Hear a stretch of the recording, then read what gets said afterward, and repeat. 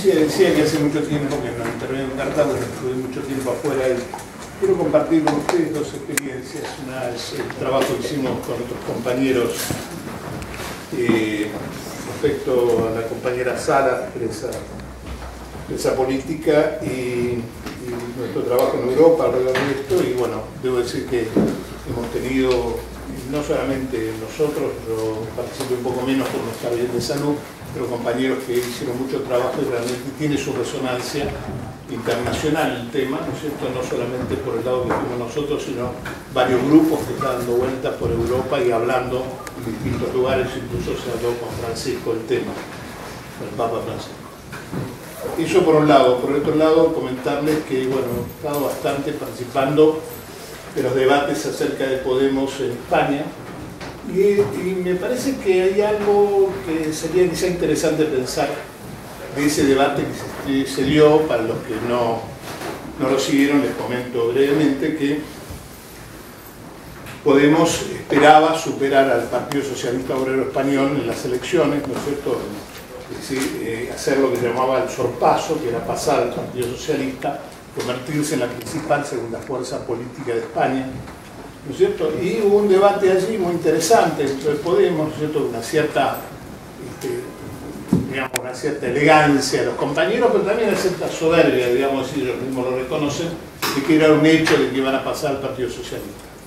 Esto no fue así y Podemos perdió un millón de votos.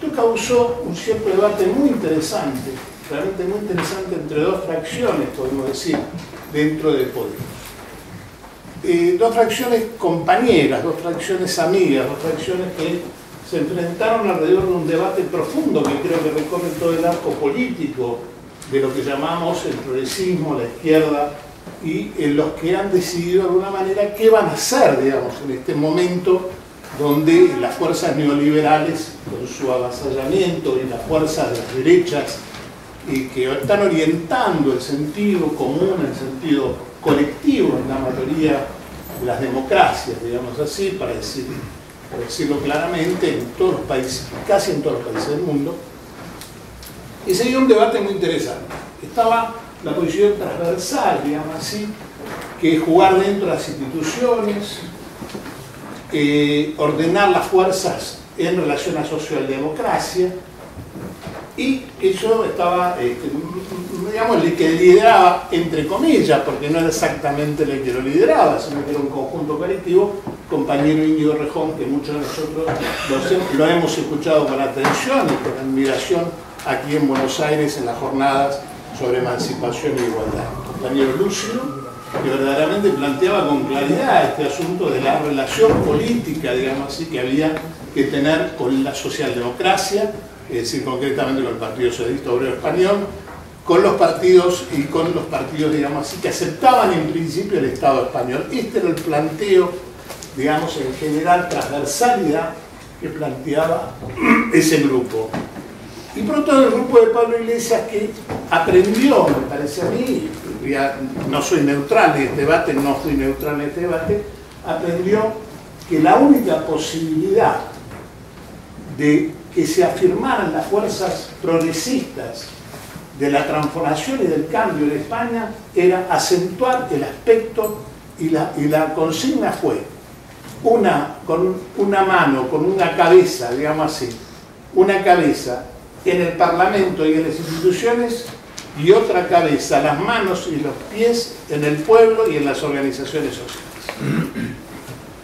Eh, la frase muy definitiva de Pablo Iglesias al respecto fue nuestras compañeras parlamentarias cuando llegan a la Cámara, al Parlamento, lo primero que hacen es comprarse los trajes de Dolce Gabbana. Quiere decir, el poder de absorción que tienen las instituciones, su transformación en burocracias organizadas, podemos decir, al servicio de la reglamentación del Estado, hace perder el carácter subversivo, popular, transformador, podríamos decir, crítico de esas mismas fuerzas que comenzaron siendo el resurgir de las voluntades populares transformadoras. Es decir, este, este hecho, este debate que se dio en España, donde por suerte, podemos decir, ha ganado, en gran parte ha ganado, está muy, muy, discutido esto, pero discutido entre compañeros, entendamos, ¿no? estoy diciendo entonces esto es un desgarramiento y una ruptura para nada, esto está en un debate muy amplio, muy crítico, muy abierto a, los círculos de Podemos, muy abierto a las asambleas, muy abierto a las organizaciones territoriales. Quiero decir, esto no es una dialéctica de partiducho digamos, con internas que no oscuras, digamos así, sino que está muy a la luz. y tengo la impresión de que está ganando, digamos así, esta alternativa, que es una alternativa colectiva, transformadora y crítica, que es la que encarna la idea de que hay lugares donde no se puede pactar. Hay lugares de la socialdemocracia. El PSOE, para que lo entiendan claramente, es la Unión Cívica Radical de España. Esta es la posición del PSOE en este momento, un partido, digamos, que se ha ido transformando en un partido conservador de centro. Esta sería la, definición en este momento del PSOE. Por lo menos creo que podemos sostener muchos de nosotros que hay una ruptura dentro del PSOE entre su ala izquierda y el ala conservadora que se la que está ganando. Pero que quiero traer con esto simplemente es en qué sentido nos interesaría a nosotros, digo, a nosotros a nuestra experiencia política alrededor de este frente popular que tanto se está declamando y que tanto insistimos todos. ¿Cuál es el límite que tiene esto? Evidentemente todo esto está en formulación y el hecho mismo de los sondeos y las encuestas que dan a Cristina Fernández como ganadora en la provincia de Buenos Aires, por lo menos con un, alto porcentaje de votos que la hace una candidata potente, digamos así, eh, indica, indica que lugar nosotros.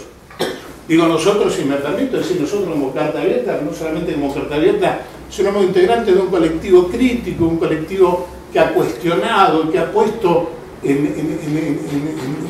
ha puesto digamos, de manifiesto una posición que una posición acerca de la igualdad, acerca de la libertad, acerca de la defensa cerrada de la democracia, acerca de ir contra los medios concentrados de comunicación, etcétera, etcétera, que, es lo que hemos hecho nosotros, ¿no es cierto? Es decir, ¿qué nos corresponde a nosotros dentro de ese frente? A nosotros nos corresponde que si se lucha contra el racismo, ser los que más defienden la lucha contra el racismo.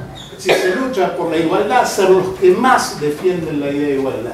Es decir, tener una posición cerrada respecto a estos principios hace que nosotros no podamos. Por eso hoy quiero, aunque suene un poco extraño en este debate, y sé que muchos compañeros no están de acuerdo, pero creo que es un debate necesario. Voy a emplear una anécdota, una anécdota importantísima que fue muy utilizada por los medios de comunicación, que fue el voto desgarrado ah. que expresó Horacio González. Ese voto desgarrado es verdad.